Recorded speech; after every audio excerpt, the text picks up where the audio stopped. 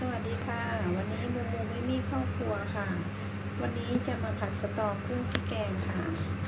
ส่วนประกอบก็จะมีสตอค่ะเป็นสตอใต้นะคะ แกะล้างทำความสะอาดให้เรียบร้อยค่ะ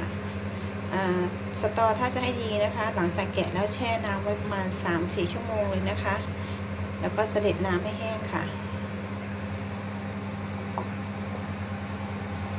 พริกแกงค่ะ แกงผัดเผ็ดเรานี่แหละค่ะ กุ้งสดค่ะ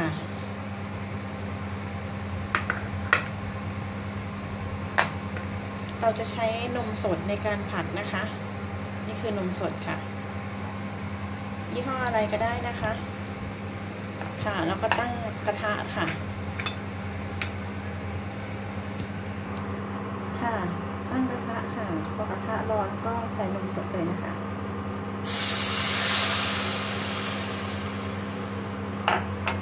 เร่งไฟค่ะ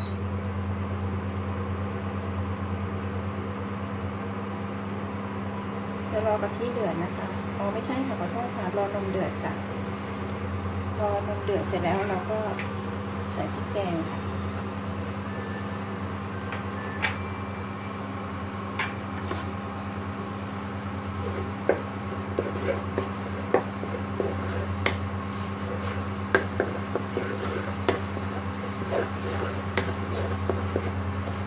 ผัดพริกแกงให้หอมนะคะ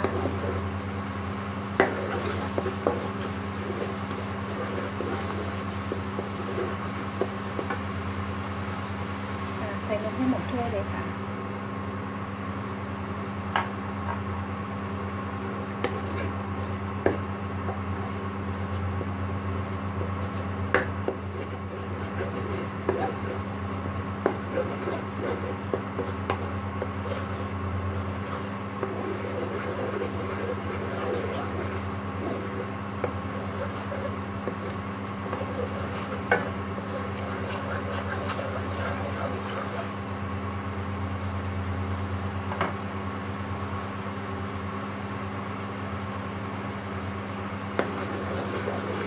ค่ะ แล้วก็พริกแกงให้หอมค่ะตอนนี้เริ่มหอมแล้ว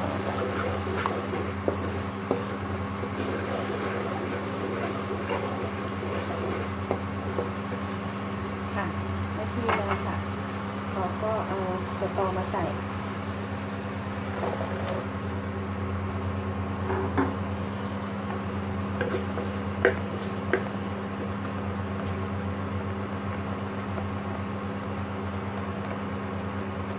ให้เดือดสักครู่นะคะเดี๋ยวเราจะมาใส่เครื่องปรุงกันค่ะ ค่ะเราปรุงเครื่องค่ะใส่น้ำตาลค่ะใส่น้ำตาลทรายนะคะเครื่องปรุงไม่มีอะไรมากค่ะพี่แกงเค็มอยู่แล้ว เติมแค่น้ำตาลทราย ใส่น้ำมันหอยนิดหน่อยเพื่อความอร่อยค่ะเอาให้เขานชอบหวานใส่หวานนะคะ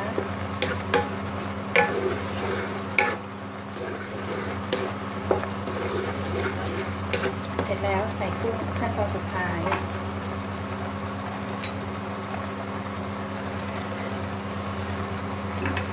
พอกุ้งสุกก็เสร็จแล้วนะคะ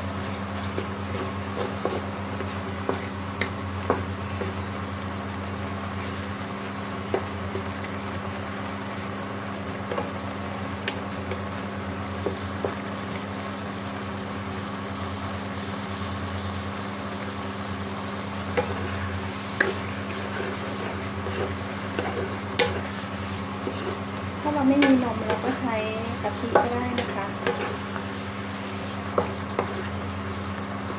เพราะว่ากะทิก็จะให้ความหวานเข้ากับสตอได้ดีมากเลยนะคะแต่ว่าสูตรนี้คือใช้นมสด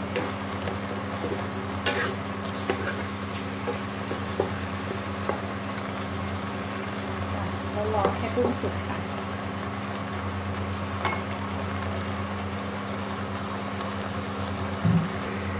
ค่ะ ระหว่างรอกุ้งสดถ้านมแห้งก็เติมน้ำได้ค่ะ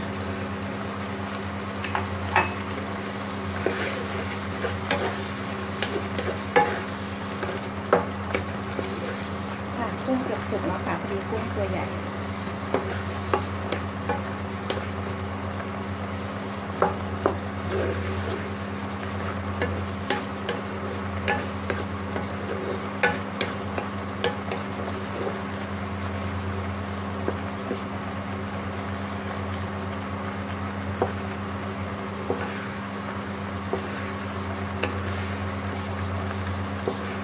อ่าได้ที่แล้วค่ะ เสร็จแล้วค่ะ ปิดไฟได้ค่ะ เดี๋ยวเรานำไปใส่จานค่ะ เสร็จแล้วค่ะ เมนู